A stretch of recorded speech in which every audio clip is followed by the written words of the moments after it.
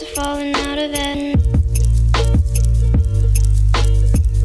Are you, you tired of me yet? I'm a little sick right now, but I swear when I'm ready, I will fly us out of it.